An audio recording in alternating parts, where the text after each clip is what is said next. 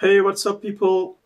If you're using Windows 10 and uh, you must have experienced that uh, your Windows uh, sometimes does not shut down, or maybe uh, you click shut down and uh, your monitor goes on sleep and you come after a few hours and you see that your, your computer is still on. Thanks to Windows 10 fast startup or maybe hybrid boot, which causing this problem. So in this tutorial, I will show you how to uh, fully shut down your computer. And I will also show you how to create a shortcut on your desktop so you can just simply double click it and your Windows will be fully shut down.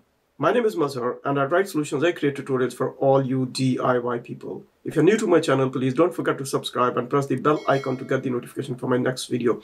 Now, without any further ado, let's head to the uh, Windows 10 and uh, I'll show you how to create that full shutdown Windows shortcut on your desktop.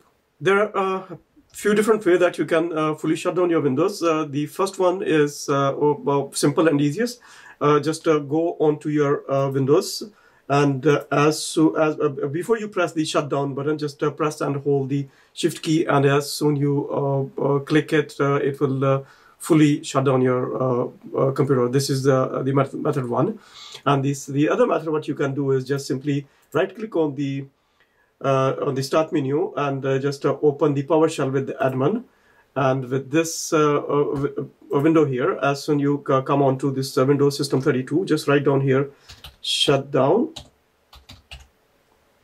and space forward slash s forward slash f forward slash t space and zero. Now if you hit enter, computer will be fully shut down. It will shut down all the applications running uh, uh in the background. It will just uh, uh, will completely shut down.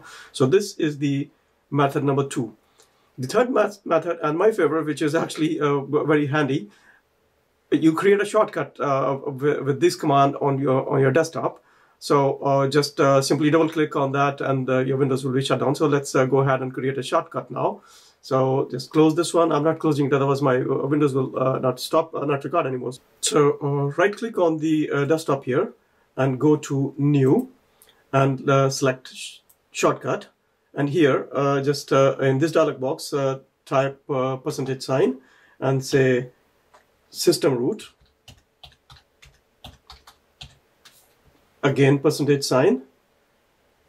And then slash and type system32 system 32 slash just say shut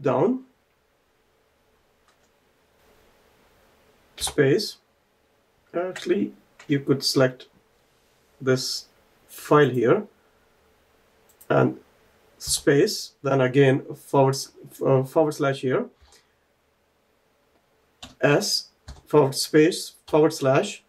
F space forward slash. T space and zero. And just uh, uh, click next.